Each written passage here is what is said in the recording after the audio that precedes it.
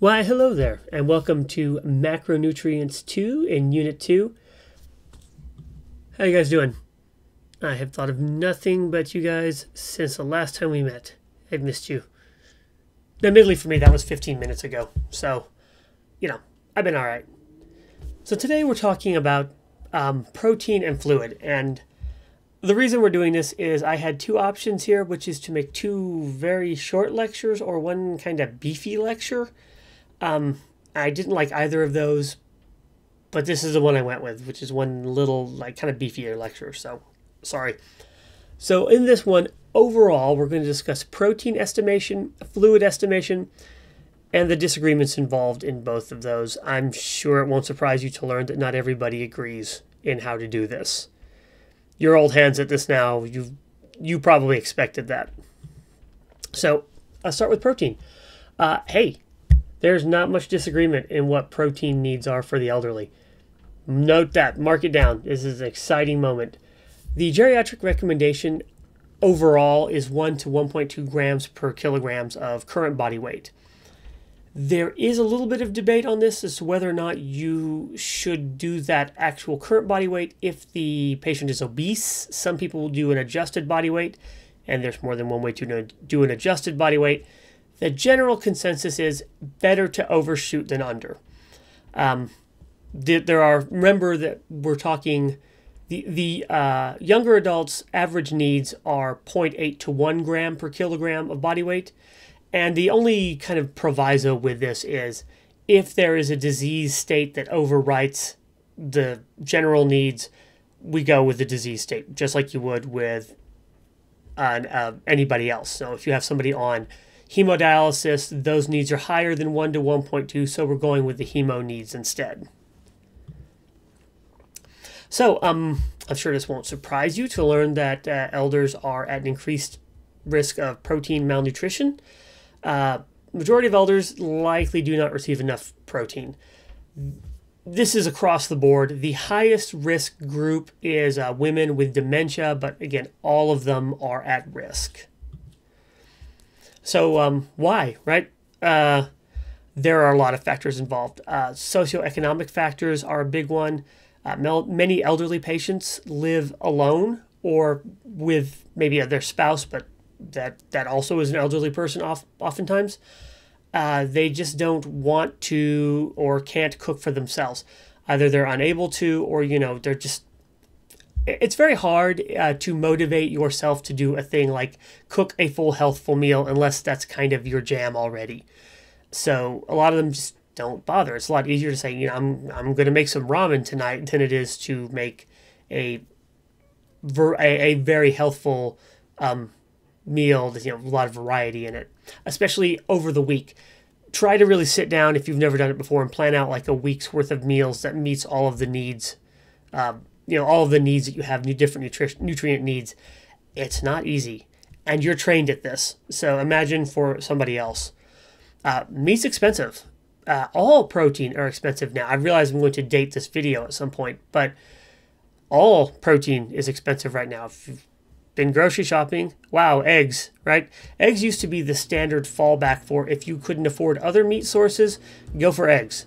And uh, that's kind of out the window now, too all forms of protein are expensive. Uh, they're also unfamiliar or uncomfortable with alternate protein uh, sources. They have traditionally, now this is not everybody, I don't want to paint with too broad a brush here, but they tend to think of they need a meat, a starch, and a, a vegetable. And they're not comfortable with a meatless meal. Uh, they're especially uncomfortable with something like uh, tofu, say. So if you're trying to do some, convince them to do something like have some tofu, have some quinoa.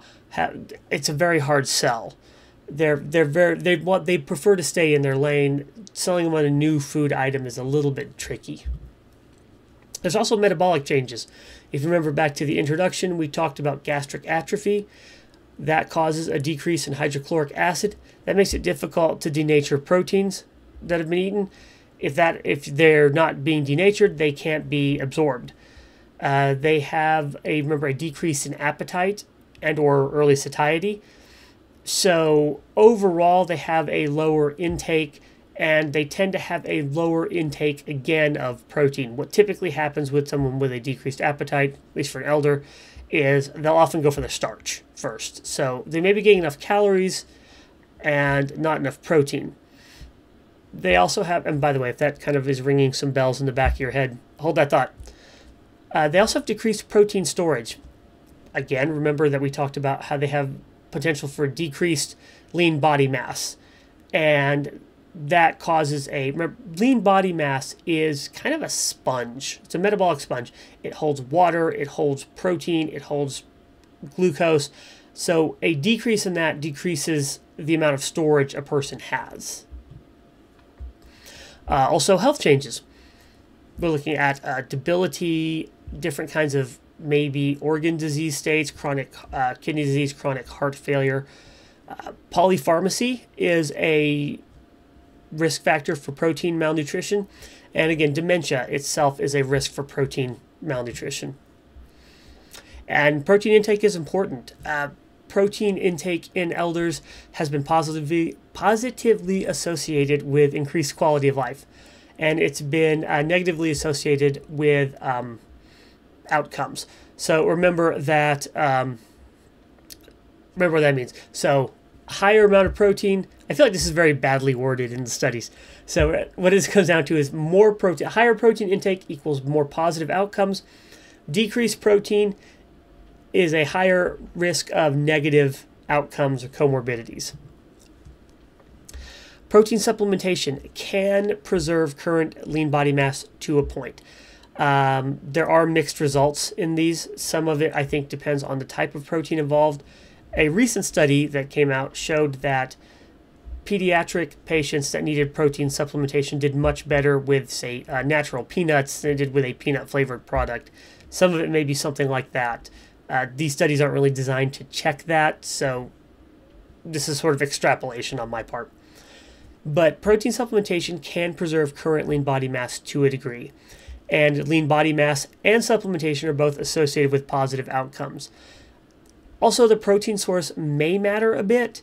It does seem like there's more pronounced effect from animal sources of protein than plant, but again, these are some mixed results. So, any protein supplementation in a patient is better than none.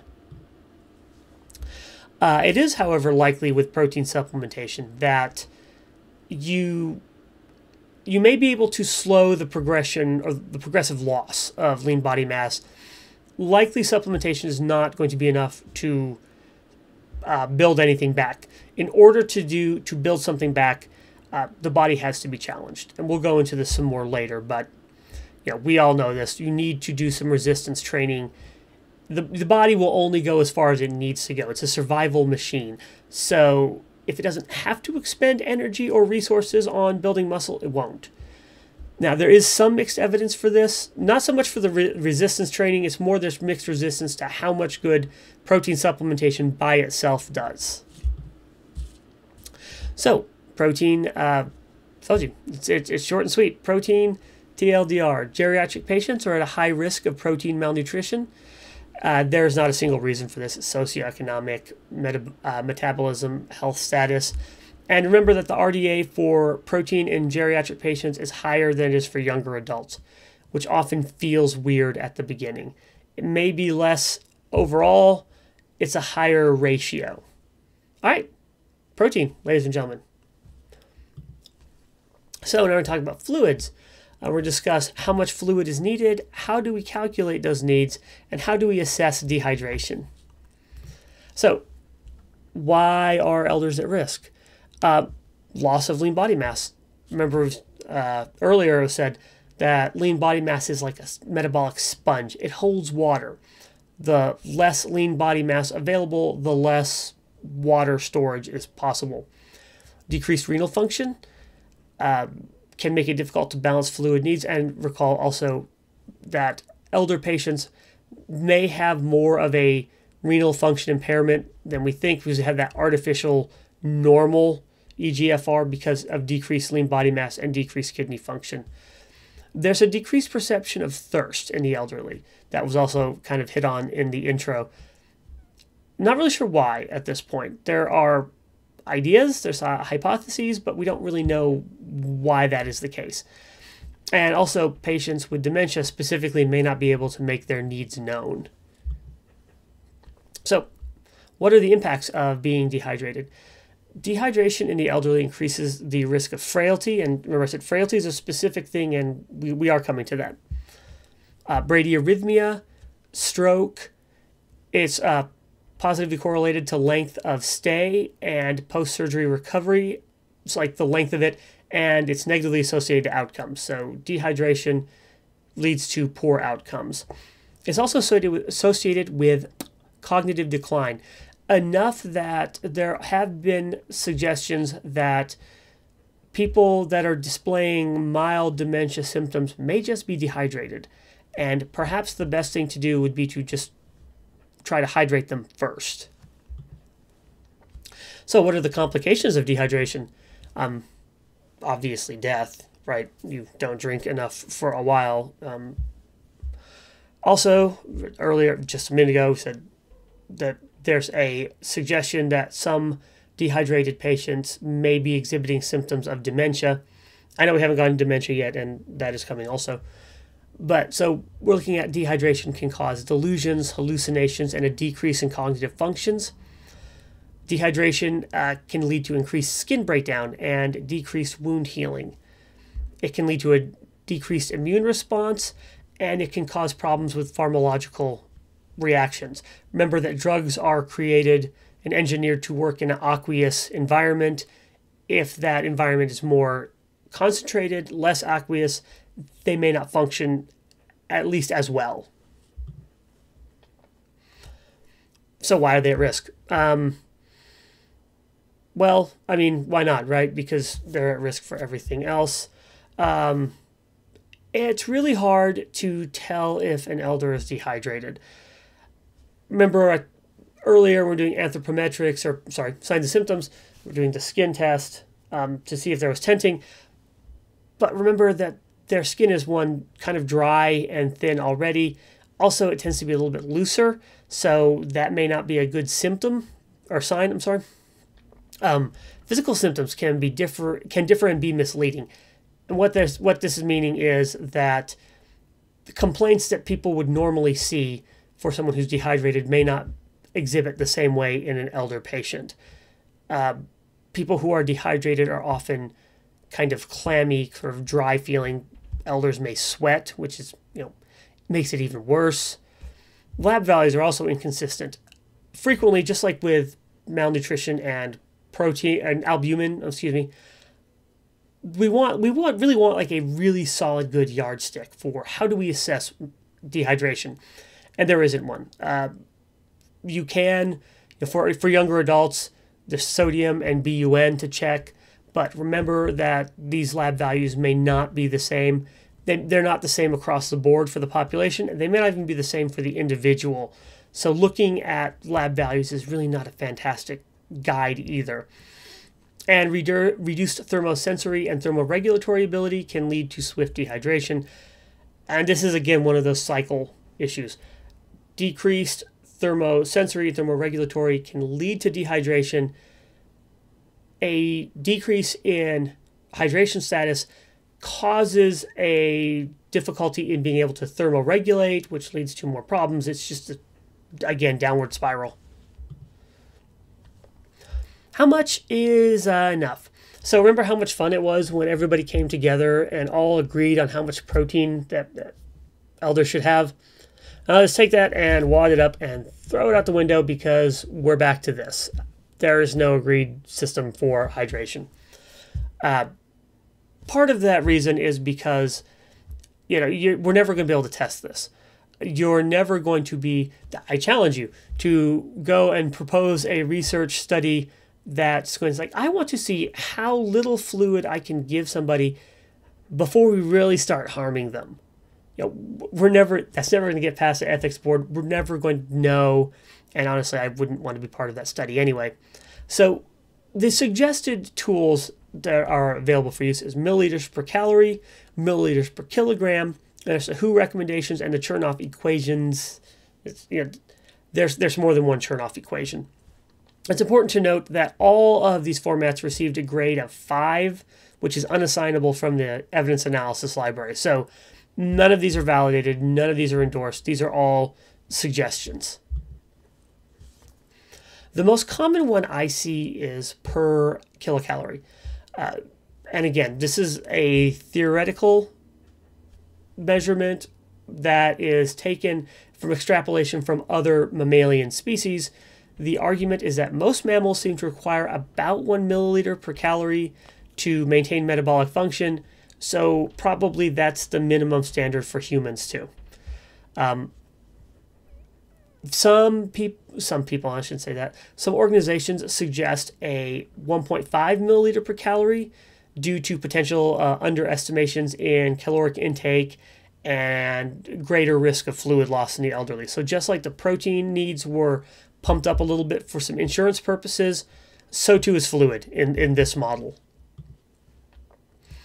Uh, the Academy does endorse, yeah, a little tepidly to be honest, uh, 25 to 30 milliliters per kilogram. These calculations are by actual body weight.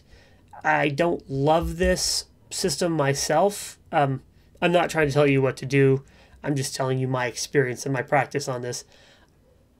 Given that adipose tissue is so much less active metabolically than lean body mass, I don't know that I like this because the difference between a healthy, lively, active 70 year old who you know woman and a um, frail elderly 70 year old female in a nursing home those are two separate people. They have different metabolic makeups.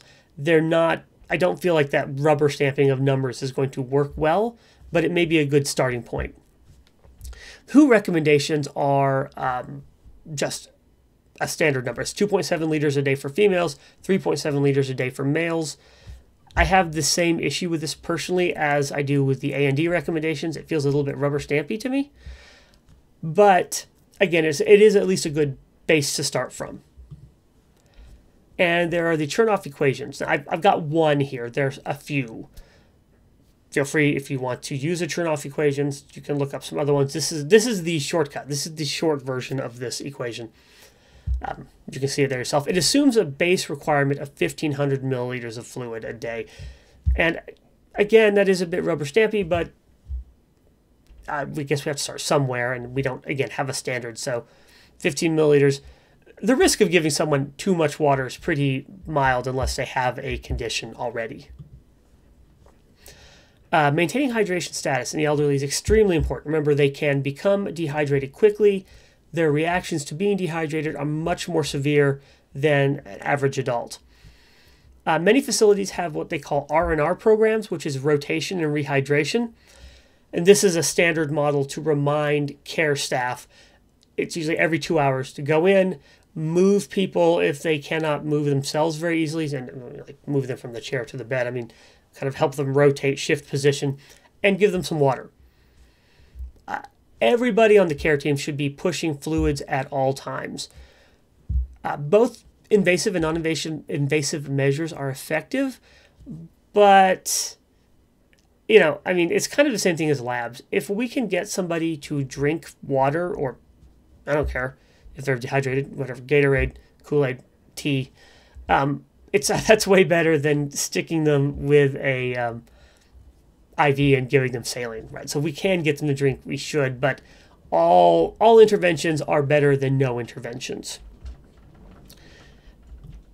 All right, this is hydration wrap. So elders are at increased, increased, increased risk of dehydration. There is no one agreed upon formula. Invasive and non-invasive approaches are both effective, and remember to always encourage fluids. That is proteins and fluids. I will catch you on the next one. Bye.